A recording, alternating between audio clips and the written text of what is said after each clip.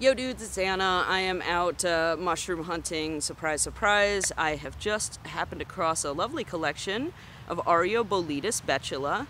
This is a very common uh, bolete type mushroom.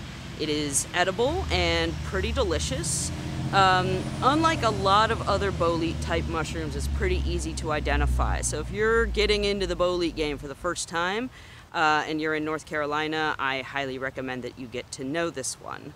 Uh, so I'm going to describe some of the key features uh, for it. This is a, a, nice collection because they share uh, the few sort of deviations that this mushroom can have in terms of identi identification. So uh, first things first, the mushroom itself, uh, its common name is the shaggy stalked bolete.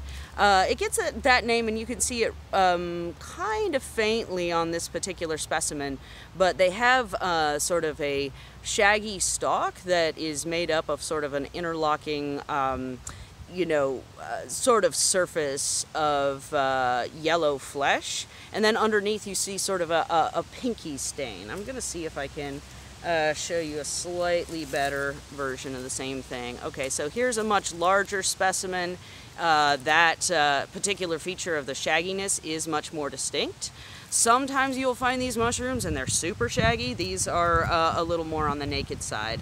Uh, but that is one of the key features. Uh, like other bolete mushrooms, they do not have um, any gills. Instead of gills, uh, the spores come from a sponge. It kind of looks like uh, a whale's baleen if you open it up. Uh, I'm going to just split it in half here so I can show you. So basically, uh, the uh, spores of the mushroom develop in this uh, sort of you know, um, spongy surface. And if you're into eating boletes, uh, sometimes the sponge you want to get rid of because they get very wet and they're kind of hard to cook. And uh, so you end up with something a little slushy and then uh, the rest of the mushroom, which is nice and firm, and, firm and delicious. So um, besides having the shaggy stalk and having this uh, porous undersurface, uh, these mushrooms are also super duper tall. Like a lot of your boletes are short and fat, and some of them like are more, um, I guess, proportional. So the cap and the stem uh, look like they kind of go together. In the case of Aureoboletus betula, you have a really, really long stem and a pretty dainty cap by way of comparison. So that is a really good uh, identification feature for them. Um, additionally, the uh, cap of the mushroom shares uh, a couple of color um, distinguishing features. They, like a lot of other boletes, do change color as they develop. So when they uh, pop up, they're usually kind of this reddish color. Uh, oftentimes they can be like bright cherry red when they're really fresh, but as they age, they take on this sort of uh, yellow color, oftentimes with red streaking. Uh, red streaking also, like oftentimes that's where the mushroom is protected by, uh, you know, leaves or forest stuff or whatever. Uh, so you get, you know, anywhere between this uh, reddish color, sometimes even brighter, to sort of a lemony yellow. The other thing that's kind of cool, and uh, it's not super distinct on this specimen, but it's a good ID feature for the really fresh ones. Not only does it have, uh, you know, a yellow porous uh, undersurface, it also has this narrow yellow uh, rim right around the edge. And uh, so that's really a good feature as well. On some specimens, it's not super distinct, like this one, uh, because the color is more in the orangey uh, sort of shade, it's a little more difficult. Uh, to discern. So anyway, those are the key features. Uh, the only other thing that I will uh, um, point out is that they have a monstrous uh, mycelial base of big, fat, white mycelium.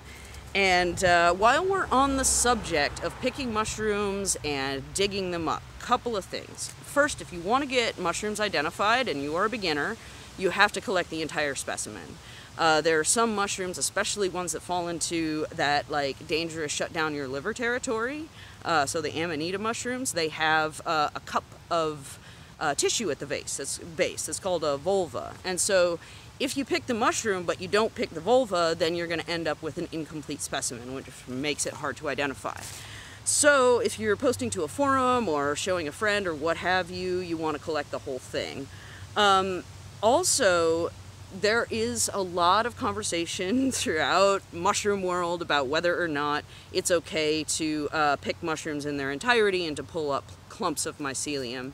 And uh, I'm very confident that that's a totally fine practice and that nobody ought to worry about it. There is uh, a study that was conducted over the course of 30 years comparing harvesting techniques between uh, cutting mushrooms off at the base, not cutting or not harvesting mushrooms at all, and then harvesting mushrooms by plucking them. And there was no uh, difference over, again, that uh, period of years. The uh, only sort of differentiation year to year was the amount of rain. Um, also, if you're familiar with mushroom cultivation, one of the key things that you do uh, to make your mushrooms grow or make your mycelium grow is to disturb it. So, you know, you will be required to shake your stuff up a whole lot if you're interested in growing mushrooms. Wild mushrooms have some similar uh, characteristics. So basically, when you damage the mycelium, it responds by uh, with a very, very strong self-healing response often. And so, um, you know, there is no, I don't think, any current uh, research on actually plucking mushrooms making your patch more vigorous, but there is uh, no reason to be concerned about, um, you know, plucking mushrooms and pulling them up, especially, again, in the case when you want to get someone to identify a mushroom, being able to say, oh, hey, this is a key feature, it's got this giant frickin' foot of mycelium, that is really helpful, uh, especially when you start to deal with mushrooms that are a little more ambiguous than this one. Um, Food-wise, this is a really good mushroom insofar as uh, it's kind of like sweet, a little bit citrusy, so it has kind of a nice, I don't know, uh, non-mushroom flavor, which is kind of cool because at a certain point it's like, this mushroom is great, it tastes like mushrooms, that's fabulous, but it's kind of cool that this one um, is much more, you know, a flavor you'd pull out of the fruit bowl. Um, you do want to bear in mind that the sponge uh, underneath can sometimes be a little bit on the gooey side, especially when the mushroom starts to sporulate. Uh, so, you know, if you pick one of these, and actually this oldest one is a good example, the sponge is definitely starting to get a little bit on the uh, rugged side. So when I eat it, I'm just going to pull it right, pull it right off. And so you'll see, you know, there's plenty of, plenty of cap left and it's just a matter of uh, pulling it off like a wet sock or something equally disgusting. So yeah, Boletus betula. Um, it has other names in circulation, but that is the current name. So you'll see Heimioporus betula, Boletus betula. If you go to Mushroom Observer, there's a long list of synonyms that this mushroom has been known by. But uh, Boletus is where it lives, at least for now.